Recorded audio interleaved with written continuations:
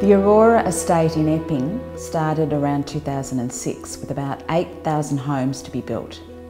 It was a state government development and planned to be a model housing estate served well by public transport. Bus stops were promised to be no more than 400 metres from most homes. Many residents would have had a strong impression that there would be a train service. There were glossy brochures, advertising boards, maps and development plans that said so. It was a strong sales pitch. We got the bus shelters. They are here and they look great.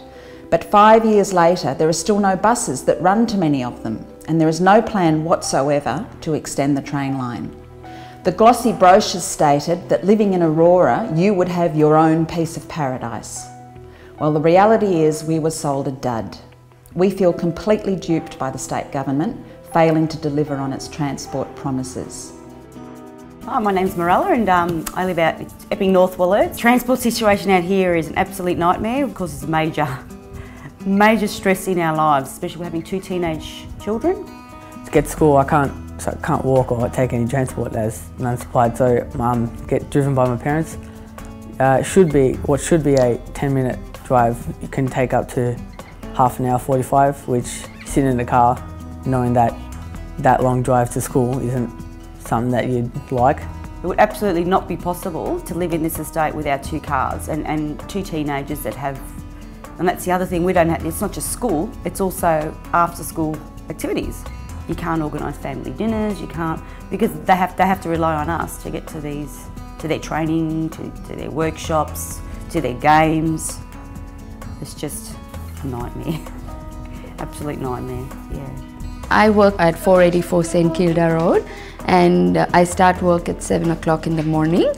And uh, basically for that I have to leave home by 5.30 and along with my daughter two-year-old and my husband who used because we just have one car so he used to come drop me at the station first and then come back with my daughter my daughter's sleep was getting disturbed so uh, we used to come back Paurush used to get re ready to go to work and then wake Maisha up and then uh, he had to go drop her to the daycare and then uh, he used to park at Lalor station and then he himself used to go to work in the city. So whatever I did in the morning to drop her, she has to then repeat that in the evening. So it was inconveniencing the morning and the evenings. There is bus stops, but they aren't working. There are no buses. there are no, no buses. buses. No. There is a bus stop which is like five minutes uh, walk, but then it doesn't. There, there are no buses, so we have to walk 45 minutes for the closest bus stop where there are buses, but an, at an interval of an hour. And in the morning, five o'clock, there is no bus. If we have a bus stop close by, that would be an easier solution. I can just hop by, no need for disturbing them. I can just go in the bus because we can't afford another car. Well, my big concern is that people moving in uh, around the time I did 2007 basically came in under the impression that we would have public transport. I think that uh, that has turned out to prove uh, a real challenge for people living on the estate when basically we still rely on cars. This is after quite a few years and with absolutely no promise of any adequate public transport coming up in the foreseeable future. Okay, we've got bus stops where buses don't stop. That's uh, a real pain. We've got um, a train line that's been deferred for more than 20 years when we need it right away. I just can't imagine the area developing much further without the train line.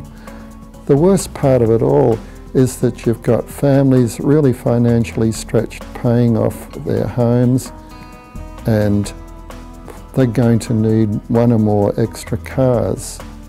And of course you've got all the other problems uh, with uh, travelling on the roads, not enough roads, uh, roads not sort of uh, equipped to deal with the, the kind of traffic uh, that they're getting when they were originally designed as country roads. And it doesn't take long before you're in congested traffic, especially in peak hour. So long, slow journeys to work and lots of time lost from family life and from other things that people might want to enjoy their lives with. But you don't have to take our word for it.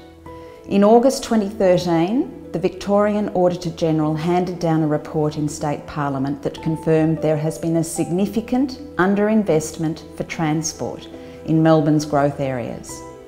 Our housing estate was highlighted as a case study of where the state government failed to deliver on its promise of early delivery of transport services. We know we were duped, but it was nice for this to be officially recognised. This is compelling evidence that urgent action is required by the state government. Peak hour traffic problems are everywhere. A lot of people travel south in the morning to access Cooper Street and the Hume Freeway or Epping Road and High Street. And then they return in the afternoon. These roads are a disaster during peak hour and there are thousands more residents to come. It's just going to go from nightmare to disaster. And when the Melbourne wholesale fruit and vegetable market opens on Cooper Street in 2014, there's going to be hundreds of trucks along Cooper Street every day. It just doesn't make sense to mix residential traffic with freight traffic in what is going to be a massive business and employment precinct. It'll be a car park.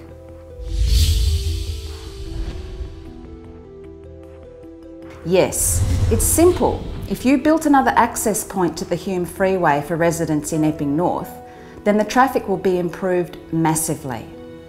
We've been forced into our cars because the state government didn't build the promised train station or give us proper bus services. So if a freeway interchange was built at O'Herns Road, it would get our lives back on the move.